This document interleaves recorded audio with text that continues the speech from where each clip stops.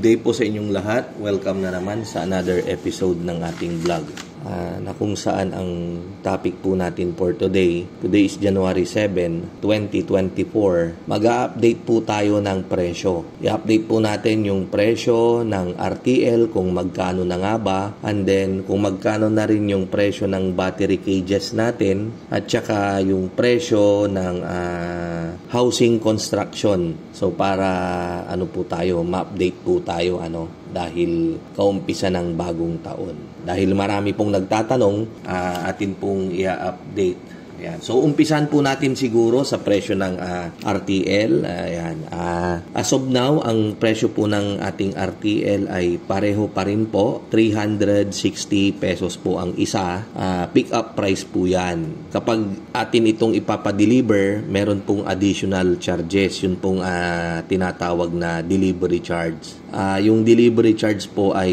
depende po kung gaano po kayo kalayo sa amin. Yan. Pero as of now po ang makikater lang po namin ay ano yung Luzon area only sa ano sa malapit-lapit po sa aming probinsya. Dahil kami po ay nasa Pangasinan, ang madali po naming ma-deliver ay sa Sambales, sa La Union, sa Ilocos Sur, Ilocos Norte, uh, Nueva Ecija, Pampanga, Bulacan, uh, Bataan, diyan po yung ano, diyan po yung malapit-lapit or accessible. May mga nadalhan na po tayo. May mga mangilan-ngilan na rin tayong nadalhan diyan sa uh, Isabela, sa Nueva Vizcaya, ganyan. And then may mga inquiries din tayo sa Quirino. Yan. Pero pagdating po sa tawid dagat, pas po muna tayo dahil sobrang napakahirap po ng delivery ngayon. Yung huling experience natin, nagpadala tayo ng battery cages sa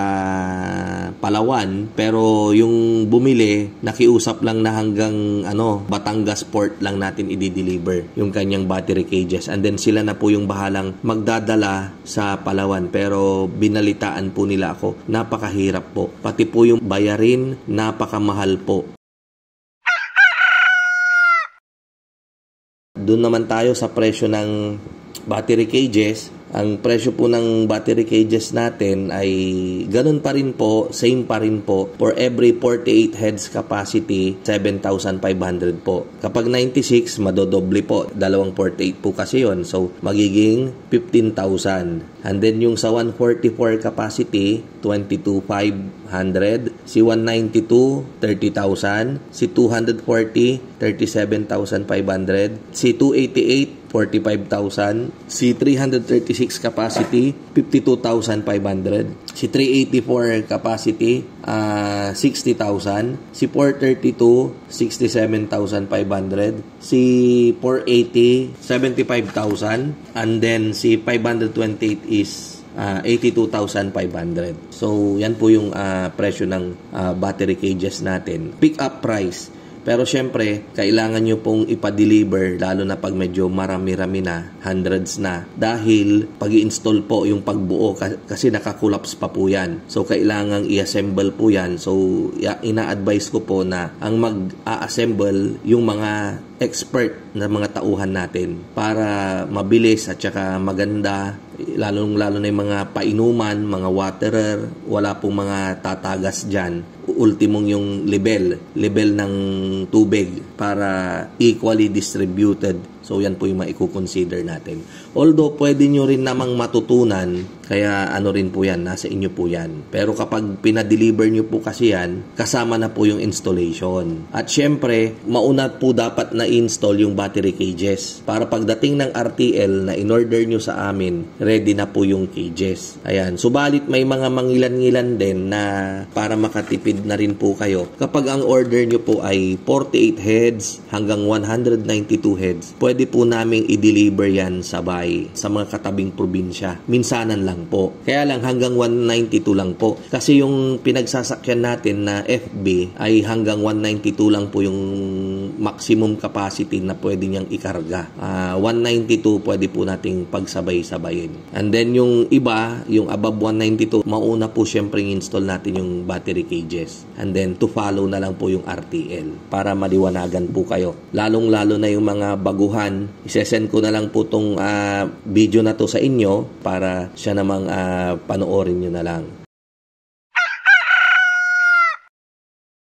Ayan. And then doon naman sa mga gustong magpatayo ng housing, yung uh, ah, 1,000 heads capacity uh, and above, yung presyo po natin ay 350 pesos po ang uh, per head. And then sa elevated naman po 400 pesos po yung ano uh, per head. Kapag dito dito lang po yan sa malapit sa amin. Pero kapag medyo malayo, meron pong dadagdag yung transportation ng mga tauhan natin papunta diyan sa inyo. Sa elevated po 3,000 heads po yung minimum capacity natin. Actually 3,024. May bodega po kasi yan eh na kasama. So sa ano naman po dito sa semi, minimum naman po niyan is 1,000 heads capacity. Anyway, uh, ano i-chat nyo lang po ako, i-message nyo lang po ako sa Mang Mags FB page. Pwede nyo rin po akong uh, i-text text po muna kasi minsan kapag may ginagawa po ako hindi ko po masagot yung tawag nyo. So at least kapag nag-text po kayo, uh, masasagot ko po yung concern ninyo. Kahit hindi po kayo bibili, pwede nyo po akong i-text. Kahit na may itatanong po kayo tungkol sa inyong mga manok, kung ano yung mga dapat gawin. Hindi lang po tayo sa yung gusto lang bumili, ganon. Siya lang yung papansinin ko, hindi po. Basta i-text nyo lang po ako at re-replyan at re-replyan ko po kayo. So as of now, ang available po nating RTL ay yung pang April bill natin which is paubos na rin. Anyway, meron naman tayong pang May. Uh, May 3 kung di po ako nagkakamali. Antayin po natin kung kailan talaga dadating yung sisiw natin sa farm. And then doon po tayo mag-uumpisa ng counting kung kailan sila magsi 16 weeks. Ayan. So sana uh, nabigyan ko na naman kayo ng idea regarding sa price update natin ngayong uh, 2024. Maraming salamat po sa inyong uh, walang sawang panonood. Uh, mabuhay po tayong lahat sa lahat po ng subscriber natin. Uh, ganon din sa mga silent uh, viewer natin. Ayan, na medyo nagko-comment-comment na rin po sila. Kino-comment nila yung kanilang location. Ayan. Nice to know na marami na po tayong subscriber na mga kababayan natin na nasa iba't ibang panig ng mundo. Ayan, so natutuwa po ako. Uh, hina-heart ko po yung mga comment nyo kung mapapansin po ninyo. Ayan, so kita-kita po ulit tayo sa mga susunod nating vlog. Once again, ito po ang inyong uh, kaibigan kaibigan, ang inyong kamanukan. Uh, walang iba kundi si Mang Mags. Ayan. Thank you po, thank you. Mabuhay po tayong lahat and God bless.